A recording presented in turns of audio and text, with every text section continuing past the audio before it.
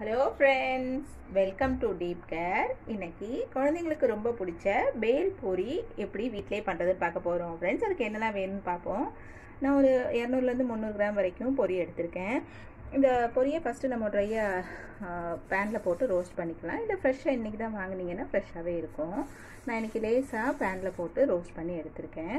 அது கூட கொஞ்சம் மசாலா ஐட்டம்லாம் ராக் சால்ட்டு ஒரு ஸ்பூன் ஒரு spoon rock salt chilli powder நம்ம ரெகுலர் சால்ட்டும் ரெண்டு ஸ்பூன் வரைக்கும் சாட் மசாலாவும் எடுத்திருக்கேன். கொஞ்சமாக ஒரு மூணு ஸ்பூன் வரைக்கும் ஸ்வீட் சட்னி மூணு ஸ்பூன் க்ரீன் சட்னி. இது ரெண்டு ரெசிபியும் நம்ம சேனலில் ஏற்கனவே அப்லோட் பண்ணியிருக்கோம் ஃப்ரெண்ட்ஸ் நான் கீழே லிங்க் கொடுக்குறேன். பார்க்காத ஃப்ரெண்ட்ஸ் அதை பார்த்துக்கோங்க. ஹாஃப் லெமன் ஜூஸ் எடுத்திருக்கேன். ஒரு ஒரு சின்ன உருளைக்கிழங்குல ஒரு உருளைக்கிழங்க நல்லா சாஃப்டாக வேக வச்சு பொடியாக கட் பண்ணி வச்சுருக்கேன்.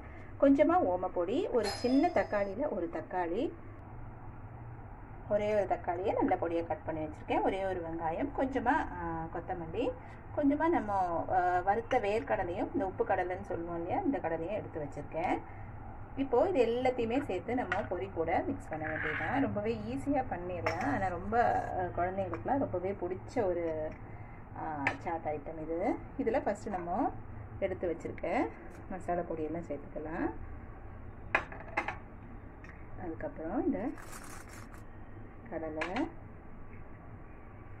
ஓமப்பொடி வெங்காயம்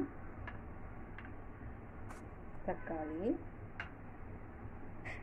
உருளைக்கிழங்கு. இந்த ஸ்வீட் சட்னியும் சரி க்ரீன் சட்னியும் சரி நம்ம டேஸ்ட்டுக்கு கூட குறைய சேர்த்துக்கலாம்.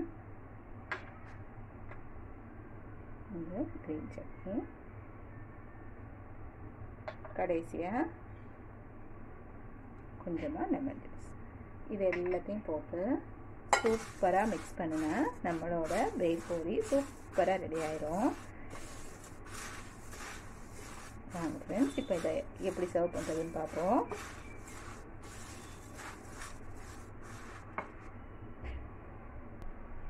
இதோ ஃப்ரெண்ட்ஸ் நம்மளோட பேல்பூரி சூப்பராக ரெடி ஆயாச்சு. நான் மேலே கொஞ்சமாக ஓமப்பொடியும் கொத்தமல்லியும் போட்டிருக்கேன்.